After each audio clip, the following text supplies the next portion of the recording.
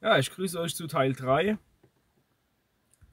Nie wieder Krieg von deutschem Boden? Fragezeichen. Das heißt, wir haben vor der Welt die Verantwortung übernommen, dass von unserem Land keine Kriege mehr ausgehen. Selbstverständlich hat jedes Volk das Recht, sich tapfer und entschlossen zu verteidigen gegen Aggressoren. Und das ist auch das Recht von uns Deutschen. Nur ich finde das Unrecht aufgrund unseres Versprechens, gerade gegenüber dem russischen Volk, uns so zu verhalten. Ich habe vom deutschen Ungeist ja bereits gesprochen. Der deutsche Ungeist haben wir gehabt im Nationalsozialismus, wo wieder der Sozialismus im Vordergrund steht, und jetzt im Antinationalsozialismus. Das alles, was deutsch ist und was männlich ist und was Männer ausmacht in unserem Land, durch soziale Klima- und Gesundheitsdisneyland schon seit Jahren bekämpft wird. Und ja, ich bin ein Mann, und ich kenne viele Männer, die in der Lage sind, das Schwert zu führen, einen Kampf zu führen auf allen Ebenen. Und dieses Recht lassen wir uns auch nicht nehmen, weil das ist unser Lebensrecht. Und wir sind Männer und wir leben in Krisenzeiten, also haben die Männer immer den Auftrag, den Karren aus dem Dreck zu ziehen. Und das ist ganz genau unser Auftrag auch jetzt. Das haben wir in der Carola-Virus-Krise auch gehabt, in dieser Pandemie dass wir Männer den Unterschied gemacht haben und unseren Mann gestanden haben. Punkt. Und ich selbst bin, um es nochmal zu sagen, absolut gegen jegliche Ausrüstungs- und Waffenlieferung in die Ukraine. Dadurch wird das Leid für alle Menschen und für die gesamte Menschheit noch viel größer, wie es schon ist. Ja? Und die Ukraine wäre schon längst besiegt, wenn der sogenannte Wertenwesten und diese Hampelregierung aus Deutschland, die selbstverständlich Instruktionen kriegt vom großen Bruder über den großen Teich, und die stehen ja Gewehr bei Fuß, wenn man sich das anguckt.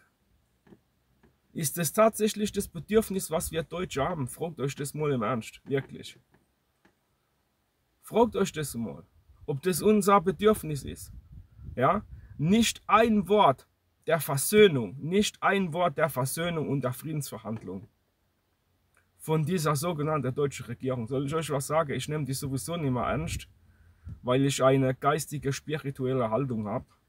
Und diese Mickey Maus Show, die wir da haben, auf dieser politischen Bühne schon längst durchschaut habe. Mir bringt es auch selber nichts mehr, weil mir das selber keine Erkenntnisse bringt. Aber was es mir bringt, wobei aber ist ja schon wieder, stellt sich schon wieder in Frage. Und stattdessen, und mir geht es darum zu erkennen, wo wir im Weltenplan stehen und wo dieser Weltenplan hingeht. Und Fakt ist, dass wir in einem Zyklus der Veränderungen leben. Manche sagen dazu Wandel, Manche sagen dazu Transformation, manche sagen das Erwachen der Menschheit. Es ist ein und selber. Und wir leben noch im Zeitalter der Lüge und der Illusion, das heißt im arimanischen Zeitalter. Und guckt euch mal um, wie die Manipulation heute so fein in diesem sogenannten Gefängnis funktioniert, im Gedankengefängnis funktioniert. Und ja, wir haben das Recht auf freie Meinungsäußerung. Aber klar, ein Boris René Engel, das ist, der wird ja immer getreten ähm, von allen möglichen Leuten, weil ich eben meine Meinung sage, weil ich mein Mann stehe und weil ich mir, wenn ich mir das auf die Fahne stehe, schreibe überhaupt von gar niemand was gefallen los, von gar niemand. Wer auch immer das ist, es ist mir egal. Ich entscheide mich manchmal dafür, mit diesen Menschen auch zu kämpfen auf verschiedenen Ebenen und mich mit diesen Menschen zu reiben und auseinanderzusetzen. Manchmal auch nicht, weil mir es zu doof ist, weil ich auch sehe, wenn es keine Veränderung zu bewirken gibt, dann lasse ich das auch. Lass mein Schwert stecken. Auch mein Zungenschwert, mein geistiges Schwert. Ich lasse es einfach stecken, weil ich dann weiß, es gibt sowieso keine Veränderung mehr. Und wenn ich die Veränderung auf anderer Ebene erreicht habe, das heißt Geist-Seele-Ebene, dann lasse ich mein Schwert erst recht stecken, weil die Veränderung ist ja das Göttliche in uns und in jedem Mensch ist Gott und jeder Mensch ist ein göttliches Wesen. Auch der Herr Putin ist ein göttliches Wesen. Auch der Herr Zelensky ist ein göttliches Wesen. Und die ganzen Politschauspieler, die wir in Deutschland hier haben, von den Qualitätsmädchen, äh, Qualitätspolitiker, Qualitätsparteien, Parteien, ja, ähm, da kann ich mich nicht darüber amüsieren und kaputt lachen. Auf der einen Seite, auf der anderen Seite ist ja das Illusionskino, ja, das sind einfach Gedankengefängnisse, die diese Schauspieler hier auf der Bühne produzieren, ähm, um uns im Verstand gefangen zu nehmen. Es gibt ja immer mehr Menschen, die verstehen, was dieser Zeitgeist ist und wie man diesem Zeitgeist zu begegnen hat. Und diesem Zeitgeist des deutschen Ungeistes im Antinationalismus kann man nur mit Liebe begegnen, nämlich auch in, zur Liebe zu seinem Vaterland. Und ja, ich bin Deutscher und ich bin stolz darauf, Deutscher zu sein. Ich bin stolz auf meine Ahne, ich bin stolz auf meine Familie, bin stolz auf meine Kinder, ich bin stolz auf meine Frau und ich bin auch auf mich stolz und ich liebe mich so wie ich bin, weil ich bin einfach ein geiler Typ. Und genau dort fängt es an, wie man diesen Sozialismus auch kontern kann. Ja? Weil der Sozialismus hat ja einen Feind und der Feind ist die Familie. Das heißt, vorher wurden Kriegsteilnehmer geboren und erzogen. Danach wurden Konsumenten geboren und erzogen. Und jetzt stellt das große Klima- und Gesundheits-Disneyland oder wie auch immer, wie ich es vorhin gesagt habe, fest, dass Deutschland ja keine Wirtschaftsnation mehr sein darf, aufgrund vom Klimaschwindel. Ja? Das heißt, wir haben einfach große universelle Veränderungen, die durch die Sonne hervorgehen und durch die heilige Mutter Erde ja, durch Magnetfeldschwankungen. Jetzt haben wir es gesehen, dass Polarlichter, Polarlichter in Washington sichtbar sind. Und das sind einfach größere Veränderungen. Und ja, auf uns werden noch einige Veränderungen zukommen. Das ist ganz sicher, Leute. Und deswegen, ich bitte euch einfach, kehrt um. Wir Deutsche, wir sind die Träger des Christentums und das ist unser eigentlicher Auftrag in dieser Zeit des Erwachens. Wir haben weder ein Schwert in die Hand zu nehmen, noch Krieg zu führen, noch Auslandseinsätze zu fahren, noch sonst irgendwas und vor allen Dingen uns nicht immer als der große solidarische Erziehungspapst in der Welt aufzuspielen. Das ist mittlerweile so, wir wären ja schon ausgelacht. Ganz einfach, wir werden von so, sogenannten Schwellenländern die ja auch der Wertewesten erzeugt hat über Jahrzehnte und Jahrhunderte, ja, die lachen uns ja mittlerweile schon aus. Die nehmen uns ja gar nicht mehr für ernst. Zumindest uns als Volk nehmen sie sehr ernst. Aber die da oben an der Bühne im deutschen Olymp, die nehmen die doch gar nicht mehr ernst. Die lachen sich doch die, die kaputt. Zum Beispiel ja die Frau Baerbock, ja, die angeblich ein Studium gemacht hat. Ähm, ein Jahr so lange hat sie studiert, das muss ja ein super Studium gewesen sein. Ähm, da kann ich mich nicht darüber kaputt lachen. Ähm, das will man die Frau ernst nehmen. Noch dazu ist die ja stur wie ein Panzer. Ja? Ihre Leopold-Panzer, die kann ja nicht mal einen geraden Satz reden. Ja? Dann soll sich der Herr Putin um 360 Grad drehen. Ne? Das sieht man doch schon mal, dass die einfach nicht mehr alle Latte am Zaun hat. Ja? Und ihre ganze Worteskapade, die da vom Stapel kommen. Ja, und auch jetzt zum Beispiel der Bacon of Hope. der Bacon of Hope. Ja, das sind diejenigen, die sich da vorne hinstellen, ja, die in ihrem ganzen Leben noch nichts gerissen haben, ja, Lebensläufe fälschen und dann uns sich hier aufspielen. Mir kommt das so vor, wie der amerikanische Traum war ja immer gewesen, vom Tellerwäscher zum Millionär, ja, und der deutsche Traum vom Automobil. Ja? Das war ja schon immer der Lebenstraum der Deutsche in der Nachkriegszeit. Und jetzt ist der Lebenstraum der Deutsche, wie komme ich ohne Bildung und Schulabschluss in die Politik nach Berlin? ich schlage mich kaputt, ihr Leid. Und das ist das, was ich euch empfehle. Weil das michaelische Schwert, das Schwert vom Erzengel Michael, ist die Satire, Ja, und ich bin einer der Gefolgsleute vom Erzengel Michael und deswegen heißt es auch der deutsche Michel, ja. Und wie schon gesagt, unsere Gutmütigkeit, die im deutschen Wesen liegt und auch unsere Treue und viele Dinge mehr, das heißt, unsere deutschen Tugenden sind auch die Christustugenden und die Tugenden eines Erwachten. Und dazu gehört die Wahrheitssuche. Ich kenne auch nicht die Wahrheit, die kenne ich nicht. Ähm, manchmal behaupte ich das, aber es entzieht sich einfach meinem Verstand, weil durch dieses Zeitalter der Illusion und Lüge ist es sehr schwer, die Wahrheit zu finden. Und doch ist es ja so leicht in dieser Zeit, denn die Wahrheit die funkelt ja schon überall golden hervor, da muss man sich auch gar nicht mehr anstrengen. Nur dazu ist es eben auch wichtig, dass man dann sich mal umschaut in dieser Welt und erwacht, wobei Erwachen ein innerer Prozess ist. Ähm, ein komplexer Prozess, der auch das Familiensystem betrifft. Und das ist der Aufruf in dieser Zeit.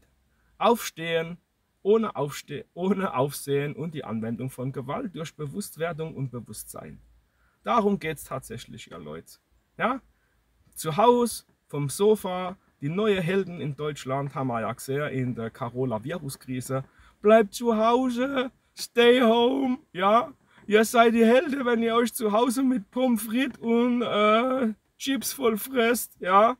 Dann seid ihr die große Helden im Lockdown und so weiter und so fort. Ja, genau. Und die Fressefreiheit haben wir ja auch, dass niemand mehr in Deutschland sagen darf, was überhaupt ist. Und dass uns die Presse, die sogenannte Presse, die eigentlich dort so da ist, eine Demokratie, um die Politschauspieler unter Druck zu setzen und so richtig durch die Presse zu jagen, ja. Was die sich heutzutage erlauben, das passt ja auf keine Kuhhaut mehr. Ähm, und ja, die AfD ist eine demokratisch gewählte Partei. Das ist sie definitiv, ja ich rede nicht mit der AfD. Was wäre denn los, wenn ihr auf eurem Arbeitsplatz, auf dem ihr hoffentlich erfolgreich seid oder erfolgreich werdet oder wächst oder auch mal verliert, gewinnt, ja, Fehler macht, tausend Dinge richtig macht, einen Fehler macht. Wie wäre es denn, wenn ihr sagtet, ey, mit der Kollegin oder mit dem Kollege rede ich kein Wort mehr. Was wird euer Arbeitgeber machen? Der wird euch aus der Firma rausschmeißen. Ja? In jedem Wirtschaftsunternehmen würdet ihr den Laufpass kriegen. So, und die Herren und Damen, die sich so wichtig haben, ja, von den Altparteien, ja, das sind ja noch Einheitsparteien. Und ich selber bin ein Verfechter und ein riesengroßer Fan der Werteunion. Ja, und ich liebe der Dr. Hans-Georg Maaßen, weil er einfach ein genialer Mann ist. Und weil er seinen Mann gestanden hat in der Corona-Zeit weil er für sein Volk da ist und weil er sozusagen mit als Vorsitzender der Werteunion die deutsche Tugende lebt. Und das finde ich genial. Ja? Und ihr werdet einfach sehen, dass wir gemeinsam der Unterschied zu diesem sozialen Öko- und Klima- und Gesundheitsdisneyland in Deutschland machen werden. Und das ist der Aufruf für alle friedliebenden Menschen. Trefft die Entscheidung für den Frieden in der Welt. Trefft die Entscheidung für den Frieden in der Ukraine. So. Und trefft vor allen Dingen die Entscheidung und fangt an zu beten, dass der Herr Putin, ja, der ja bisher sehr weise reagiert hat in diesem Krieg, ja, auf alle Anfeindungen, Felsfleckaktionen und so weiter und so fort. Ich bin jetzt kein Putin-Fan, ja, ich bin kein Pudding-Fan. Ich bin einfach Deutscher, ja, und für mich ist es einfach so, Deutschland immer zuerst, weil wenn es uns Deutsche gut geht, dann können wir auch alle anderen Menschen in der Welt helfen. Und unser Auftrag ist es in dieser Zeit nicht, vor Gott Waffe zu liefern. Nein, der deutsche Auftrag, den wir vor Gott haben, ist für uns als Volk, als Deutsche, zurückzukehren zu unserem Christentum. Und dazu brauchen wir keine Religion, und keine Kirche und kein Pfarrer und kein Papst und was weiß ich alles. Das könnt ihr alles haben. Das braucht ihr auch, das ist wichtig. Die Kirche hat einen wichtigen Auftrag in dieser Zeit. Doch auch die Kirche ist nach meiner Wahrnehmung in der obersten Führungsriege komplett verblendet. Und was das für ein Lade ist, wissen wir auch. Und darum mache ich auch kein, kein Hehl. Darüber kann sich auch jeder im Privatleben mit mir unterhalten. Das ist überhaupt kein Thema, weil das Wahrheitsschwert, das ist auch so einfach zu führen. Und dennoch ist es so, Ja, auch ich bin Mitglied der evangelischen Kirche in Deutschland und ich werde es auch bleiben, weil warum soll ich meinen Standpunkt und auch mein, mein, meine christliche Berufung und Rückbindung abgeben? Muss man denn immer Platz machen für die Dumme? Muss man das immer machen für die Menschen, die nicht zuhören wollen, die die Ohren verschließen, den Mund verschließen und die Augen verschließen? Ja, und das finde ich schon sehr interessant, was beim letzten Kirchentag abgelaufen ist. Aber ihr Leid, das ist halt so, ja. Und es ändert nichts, was diese Prediger erzählen. Gott ist queer und was auch immer. Gott ist nicht queer. Gott ist der Schöpfer allen Lebens. Und nicht nur auf diesem Planet, sondern im ganzen Universum ist Leben. Und deswegen, es ist einfach interessant, wie alle möglichen Instanzen in unserem Land unterwandert sind mit diesem ganzen Gehirnwäschekramsel. Und ich habe darauf gar keine Lust mehr. Und ja, ich sage das hier vor der Kamera, ich kann mir schon wieder vorstellen, meine ganzen Kritiker, meine ganzen Fans, die sind dann wieder am gucken, hat wieder ein Video gemacht, der Boris, mal gucken, was er wieder für Botschaft rausgehauen hat und immer dem dementsprechend wieder auf die Füße treten können. Macht das. An mich kommt ihr nicht ran, weil ich bin durch Gott geschützt und egal was ihr euch gegen mich einfallen lässt und es war ja, ihr wart ja schon immer kreativ ähm, in deinen Dingen und jedes Mal hat euch ja Gott der Stecker gezogen und es wird auch in den nächsten Malen so sein, weil in mir wirkt Gott das Göttliche, ich bin Gott verpflichtet, ich bin Christus verpflichtet und aus diesem Grund sage ich euch einfach, macht den Unterschied. Macht den Unterschied, weil wir sind göttliche Wesen. Wir haben einen großen Geist in uns nämlich Gott selbst. Und Gott kann auch mit uns sprechen. Das heißt, ein Mensch kann auch im irdischen Zustand mit Gott sprechen. Ich kriege auch nicht immer Antworten, aber in den wesentlichen Dingen, die mich betreffen, kriege ich immer den Ratschlag von Gott in mir selbst. Ganz einfach. Und das ist einfach, hier gilt es einfach, uns das zurückzuerobern, weil der Heilige Gral, den wir Deutsche auch und Europäer gesucht haben, den haben wir jetzt gefunden und den kann man jetzt finden, nämlich durch die Wahrheitssuche. Und indem man die Komfortzone verlässt und anfängt, sich mit seinem höheren Selbst zu verbinden. Darum geht es tatsächlich. Und wie gesagt, setzt euch für die Friede ein und überprüft eure Gedanken, genauso wie ich. Ich bin verantwortlich für alles, was in meinem Leben passiert, was auch immer geschieht, was auch immer geschehen mag. Ich habe mir mein Leid und mein Glück und meine Liebe in meinem Leben selber erschaffen. Ja? Und ein wichtiger Horizont dabei sind die eigenen Gedanken. Verantwortung für seine Gedanken zu übernehmen. Ja, und ich übernehme die vollständige und vollkommene Verantwortung für meine Gedanken, für meine Gefühle, für meine Reden und meine Handlungen. So, und ich setze mich für den Frieden ein und ich werde alles unternehmen, um diesen Frieden zu halten in dieser Zeit des Erwachens. Macht's gut, ich wünsche euch eine gute Zeit. Ich wünsche euch einen schönen Sonntag. Ich fahre jetzt nach Haus, mache mir einen schönen Tag und Aloha.